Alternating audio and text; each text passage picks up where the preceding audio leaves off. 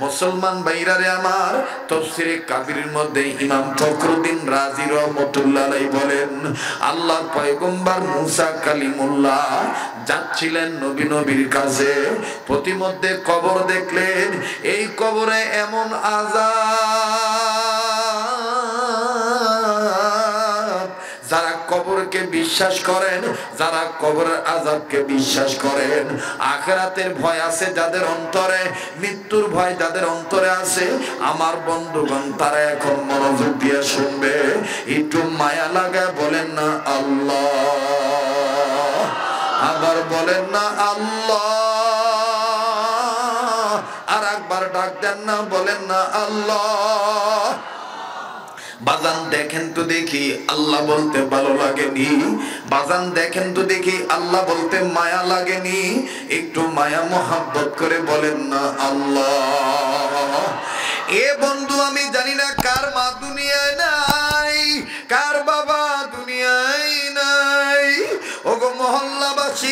এই মাহফিলের কারণে তোমাদের মুরব্বীদের কবর আজাব আল্লাহ মাফ করে দিছেন। আল্লাহু আকবার আল্লাহু আকবার। যেই মহল্লায় বুজুর্গরা কদম রাখেন, ওই মহল্লাবাসীর কবর আজাব আল্লাহ মাফ করে দেন। বাবাজি, খুব খেয়াল করে শোনেন হজরতে পয়গম্বর মুসা কালিমুল্লাহ আল্লাহু আকবার, আল্লাহ, আল্লাহু আকবার, আল্লাহর পয়গম্বর কবরে আজাব দেখলেন, কাউকে কিচ্ছু বললেন না, নিজের কাজে নিজে চলে গেলেন। কর্ম শেষ করার পর যখন আবার ওই কবরের কাছে দিয়ে আসলেন, আসার সময় দেখলেন, একটু আগে যে কবরে আজাব ছিল, এখন আর কোনো আজাব নাই। জোরে কোন আল্লাহ আকবার। আবার বলেন, আল্লাহ আকবার।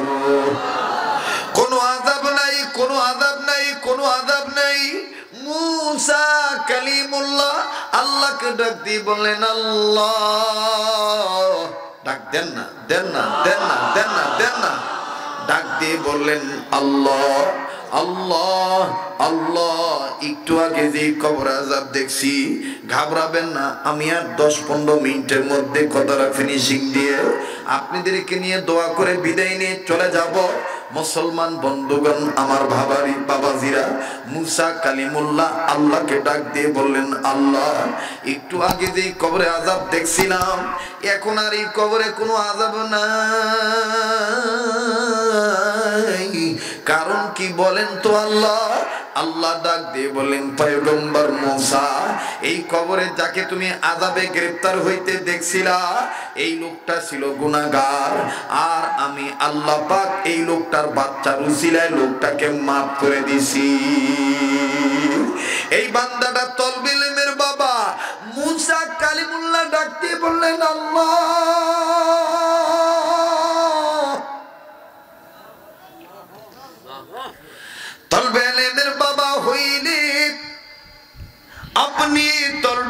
বাবা, কেউ মাফ করে দেন, মাফ করে দেন, মাফ করে দেন, আল্লাহ এই তলবেলেম কি এমন কথা বলেছে? আল্লাহ আল্লাহর পক্ষ থেকে জবাব আইল, মুসা, তুমি শোনো, এই যে বান্দাটা কবরে শুয়ে আছে, এই বান্দাটা গুনাগার এই বান্দাটার একটা সন্তান দুনিয়াতে ধুয়ে আছে, খুব কান লাগা এই বান্দাটার সন্তান দুনিয়ায় ধুই আছে। এই বান্দাটার বাচ্চাটা কথা বলা শিখে নাই। এতদিনে কথা বলা শিখছে, এই বান্দাটার বিবি তার বাচ্চাকে নিয়ে মাদ্রাসায় ভর্তি করে দিছে। আর মাদ্রাসায় ভর্তি হওয়ার পর এই তার বাচ্চাটাকে মাদ্রাসার একজন আলে মাদ্রাসার একজন হুজুর তার এই বাচ্চাটাকে সর্বপ্রথম সবক পড়াইছেন। বিসমিল্লাহির রহমানির রহিম। আল্লাহু আকবার। আল্লাহ ডাক দিয়ে বললেন মুসারে এই মাসুম বাচ্চারা যখন বলছে, আমি আল্লাহ রহমান, আমি আল্লাহ রাহিম মুসলমান বন্ধুগণ, আমি কথা বলছি। তবে আমি আপনাদেরকে একটা কথা বলতেছিলাম। এই বাংলাদেশের গর্বিত পিতা মাতার গর্বিত সন্তান মোহাম্মদুল্লাহ হাফিজুদুর রহমতুল্লাহ আলাই কেমনি এত বড় অলি হইলেন? কেমনি এত বড় বুজুর্গ হইলেন? ছাত্র ভাইরা শুনলে তোমরা অবাক হইয়া যাইবা। আজকে আমাদের মধ্যে বড়দের নকল নাই। আজকে আমাদের মধ্যে বড়দের নকল নাই। খালি আমরা বড় হতে চাই, কিন্তু বড়দের নকল নাই। বড়দের পায়ের কাছে বৈশ। বড়দের নজর, বড়দের আঙ্গুলের ইশারা, বড়দের পায়ের ইশারা যদি তোমার সুরুতের মধ্যে লাইকা যায়, আল্লাহ তোমাকে বড় বানায় দিবে। এ বন্ধু আনানিয়ত আনানিয়তকে মিটে দাও। এই মোহাম্মদুল্লাহ হাফিজুর রহমতুল্লাহ আলাই আল্লাহ দয়া করে হযরতের দরজাতকে আল্লাহ বুলন্দ করে দেন। জোরে বলেন আমিন, আবার বলেন আমিন। শোনো আজিজ তলাবাগন মাদ্রাসা ছাত্র ভাইরা শোনো রহমতুল্লাহ আলাই এস্তেন্দা যখন যাবে, এক নম্বর বা দুই নম্বর যখন সারতে বর্ণনায় এরকম আছে, কিতাবের মধ্যে লেখা আছে, ছোটদের হাফিজি কিতাবটা পড়ে দেখবেন মোহাম্মদুল্লাহ হাফিজুর রহমতুল্লাহ আহ, কথায় কথা বাড়ে, কষ্ট হইতেছে?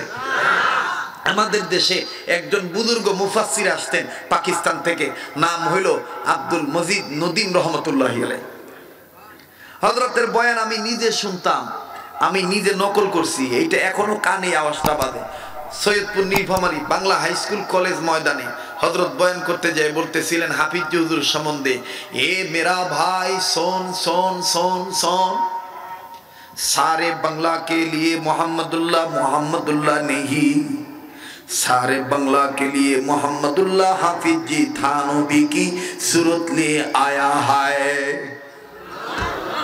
আল্লাহ আকবর বলতে পারলাম না? বড়দের তাস্কেরা করতেছি, ভালো লাগবে ইনশাল্লাহ এই বয়ান তাদের ভালো লাগবে। যাদের অন্তরে প্রকৃত আল্লাহ ওরাদের মহাব্বত আছে। আমার বাইরা আব্দুল মজিদ নদীম রহমতুল্লাহ বলতেন, সারে বাংলা কে লিয়ে মোহাম্মদুল্লাহ হাফিজ জি, মোহাম্মদুল্লাহ হাফিজ জি নেহি, মোহাম্মদুল্লাহ হাফিজ জি, সারা বাংলা সারে বাংলা কে লিয়ে लिए थानवी की रूप लिए आता है বলে হযরত মোহাম্মদুল্লাহ হাফিজ জি থানবীর রূপ নিয়ে আইছিলেন পেশাব করতে বসছে পেশাবের জায়গায় দেখে নিচে বাদ পড়ে রয়েছে এগুলো গল্প বানাবে গল্প হ্যাঁ নিচে ভাত পরে আছে হজরত পেশাব করলেন না নিজের হাত দিয়া এরকম হাতা গুটাইয়া পেশাব করা বাদ দিয়ে সমস্ত ভাত একটা একটা একটা একটা করে তুললেন। তুললে এইটারে কয়েক দোয়া দিল, চোদ্দ বার দুইছে যাতে সন্দেহ না থাকে। দিয়া নিজের রুমালের মধ্যে বাতগুলো গুছায় রাখছে!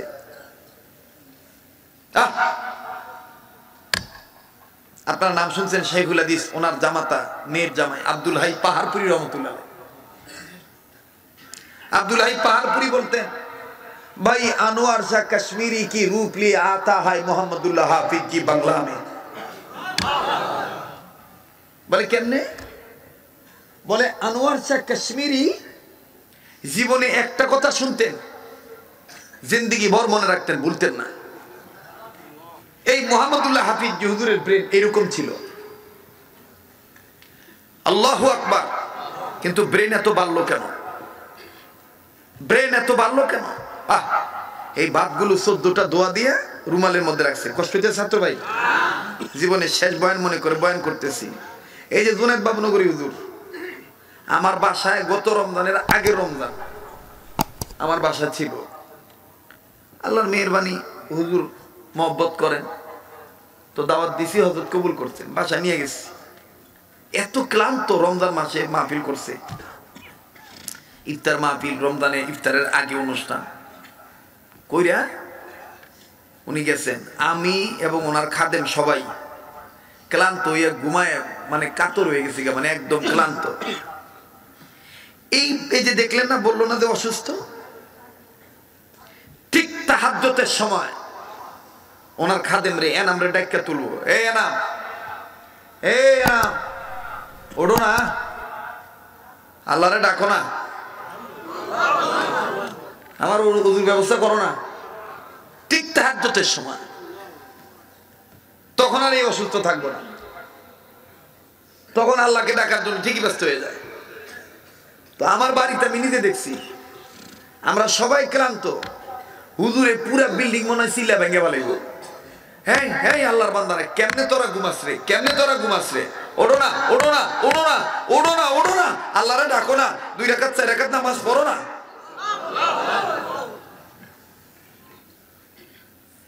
ভাই, আমি তো এই লাইনে ছিলাম না। আমি তো ডিমান্ডের মানুষ ছিলাম। এটা তো আপনারা জানেন। কিন্তু এখন এই লাইনে কেন আমি আসছি? এই বুজুর্গদের মহাব্বতে আসছি, বুজুর্গরা আমার জন্য দোয়া করছে। আমার তো মোহাম্মদুল্লাহ হাফিজ জুজুর এই ভাতটা রুমালে রাখছে, রুমালে রাখার পরে যখন খাইতে বসে মেহমানের বাড়িতে, মেজবানের বাড়িতে, মেজবান দস্তরখানায় তার রান্না করা ভাত দিছে। হাফিজ জুজুর বলতেছেন, ভাই, আমার মেহনতের ভাত এই ভাতের লগে আমারে দিয়ে দাও।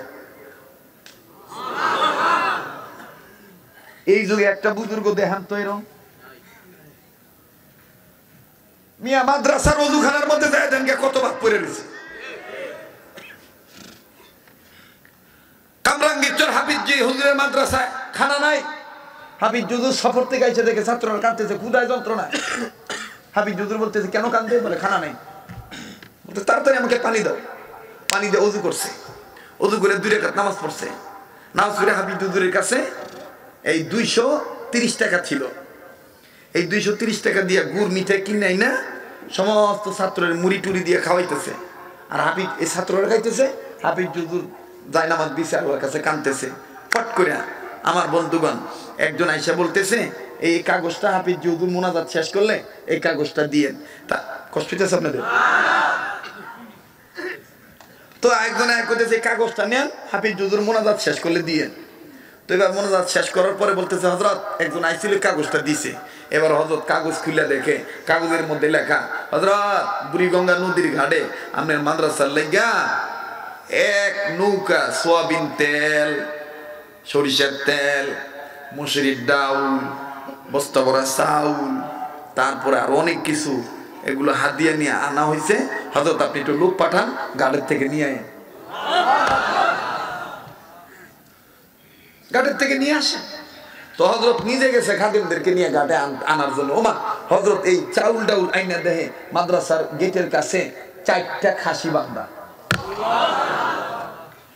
এটা তো আল্লাহ মদক আল্লাহর সাহায্য। কিসের বিনিময়? অহংকার করিয়া? এলেমের বড়াই করিয়া? কিসের বরকতে? চোখের পানির বরকতে। আ কাবিরদের খেদমতের বরকতে। যদি বলেন, মোহাম্মদুল্লাহ হাফিজির এত দাম কেন? মোহাম্মদুল্লাহ হাফিজির দাম না। মোহাম্মদুল্লাহ হাফিজির দাম বাড়ছে একমাত্র থানবীর খাদেম হওয়ার কারণে। যদি বলেন আমির হেফাজত, আহমদ শফির এত দাম কেন ছিল? না, আহমদ শফির দাম না। হুসাইন আহমদ মাদানিকে নকল করার কারণে এত দাম বাড়ছে। যদি বলেন কায়েদে মিল্লাত বাবুনগরীর এত দাম কেন? না বাবুনগরী দামাত বারাকাতুল্লাহ এত দাম না। এই দামটা হইল অলি আল্লাহদেরকে নকল করার কারণে। আমার ভাইরা, কষ্ট হইতেছে আপনাদের?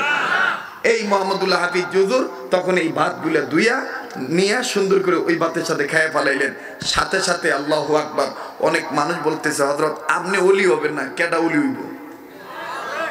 কথায় কথা বাইরে যায়, আপনি অনেক ঘুমের ডিস্টার্ব হয়, দাগ আমি আর আজকে কইতাম না। এখন বলবা? তোমরা বলবা? না, আমি কইতাম। কারা কারা থাকবেন একটু দেই তো আবার আপনা মান। আর একবার তোলে। একটু জোরে কোন আল্লাহ আকবার।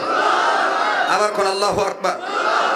হাত নামা, মুসলমান বাইরা আল্লাহ আকবার আল্লাহ আকবার।